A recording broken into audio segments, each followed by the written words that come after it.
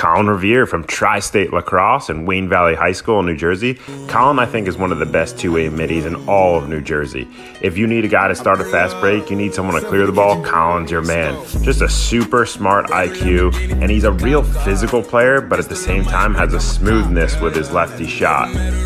Here's a really nice play coming up right here. Where great hitch, smooth left-handed shot, goes right off hip. Just an excellent, excellent shot. Shows it again in slow motion. It shows you how smooth of a left-handed shot he has. And I like the jump shot right here. Oh, I love this play. It's one of my favorite highlights. I think of the entire summer season. Just a great move. Another just showing his lefty accuracy that he can dodge downhill.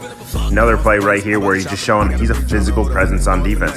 He is going to be a force, a real two-way midfielder that can get the ball on the ground, scoop it up, go it the other way, understand where to go with the ball, and then just a really nice downfield dodge right here.